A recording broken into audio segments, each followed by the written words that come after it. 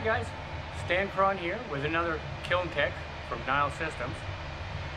Today we're going to talk about resetting the high pressure switch. Now the location may be a little different for the L53 and the L200 but they're exactly the same. Okay, here we've got our L200. Now for those of you with older units the compressor setup may be a little different.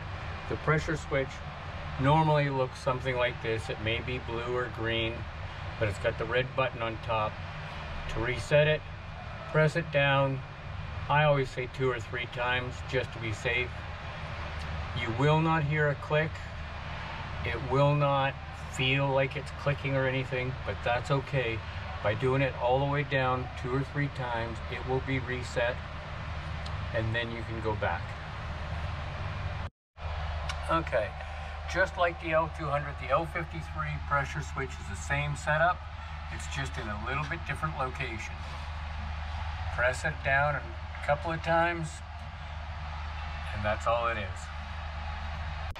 Okay, that's it. Another one down, very easy, simple to look at. For the low pressure switch, that is an automatic reset. It will reset when the refrigerant comes up high enough, so it's nothing that you need to worry about setting. Okay? Again, like and subscribe if you haven't already. And any emails, email address will be below. Send me an email. We'd be glad to hear from you.